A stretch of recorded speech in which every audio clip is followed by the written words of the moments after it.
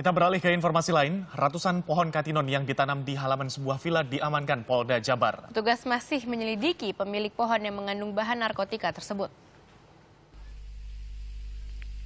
Siapa sangka kebun seluas 300 meter di sebuah villa milik warga Timur Tengah ini ditanami 500 pohon katinon atau gat. Dalam penggerbekan Satuan Narkoba Polda Jabar, pohon yang mengandung bahan narkoba ini sengaja ditanam di halaman belakang villa di kawasan Puncak Bogor yang luasnya mencapai 1.500 meter persegi. Petugas langsung membatasi lahan dengan garis polisi dan mencabut satu persatu tanaman katinon tersebut. Pohon yang berasal dari Timur Tengah ini belum masuk dalam daftar narkoba golongan satu, namun bisa menimbulkan halusinasi bagi penggunanya.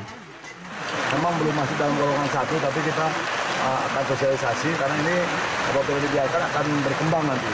Tentunya hari ini kita melihat, uh, nanti akan kita musnahkan, pemiliknya terpanggil. Hingga kini petugas masih melakukan penyelidikan dan pemeriksaan terhadap beberapa saksi yang mengetahui keberadaan pohon katinon tersebut. Bagi warga Puncak Bogor, keberadaan pohon yang memiliki nama asli kata edulis bukan merupakan hal baru.